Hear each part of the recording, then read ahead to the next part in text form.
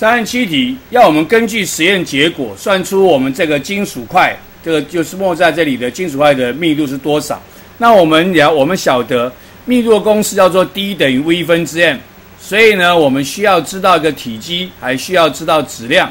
质量呢不用求了，因为呢这里就告诉我它的重量是一百克重，所以质量就是一百克，这是我们以前学过的。那这剩下一个体积要知道，体积谁会跟体积有关啊？浮力，浮力一定是液面下的体积乘以液体的密度。像我们的丙跟丁就全部都没入液面下。所以没入液面的体积就是它全部的体积。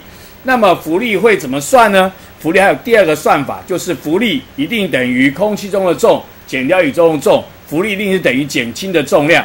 浮力一定是等于减轻的重量，空气中的重减掉一体中的重。所以呢，我们看到它在空气中呢，它在空气中重的是一百，在一体中呢重的在水中重的是六十。所以呢，我们就可以知道。它在水里面所受的浮力大小呢，是一百减掉六十，也就是等于四十克重。所以呢，它的浮力大小就是四十克重。那么这个四十克重就是它的液面下的体积乘以液体的密度。所以四十就是液面下的体积不知道乘以液体的密度是水，密度是一，所以液面下的体积呢就是四十。那么液面那因为它完全没入液面，液面，所以呢。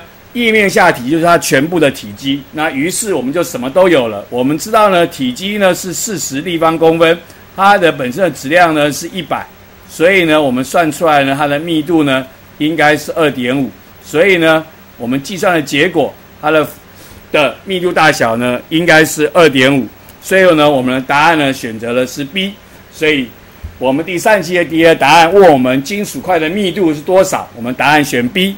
二点五每立方公分，二点五克重。